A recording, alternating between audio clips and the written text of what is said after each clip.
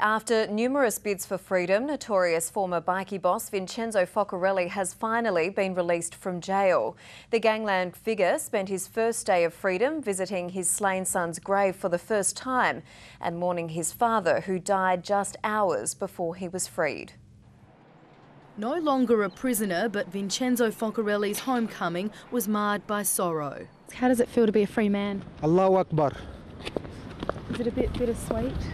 His response in Arabic, meaning God is greatest. It comes as he now plans a funeral. Just two hours before the gangland figure was released from Yatala yesterday afternoon, his father Giuseppe passed away in hospital. The flamboyant and loyal grandfather died from bleeding on the brain after battling an aggressive cancer.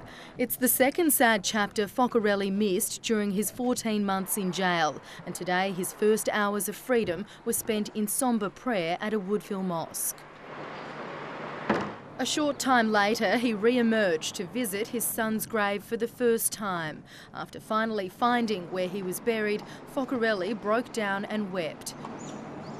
22-year-old Giovanni was gunned down in an ambush in January last year. Focarelli was also shot in what was the sixth time his enemies had tried to kill him and failed.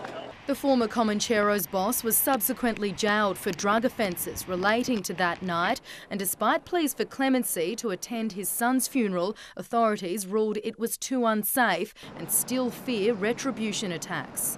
Vincenzo Focarelli has now asked for privacy and plans to lay low in Adelaide's inner south. He's indicated there are things he wants to say, but for now he's steering clear of the public eye.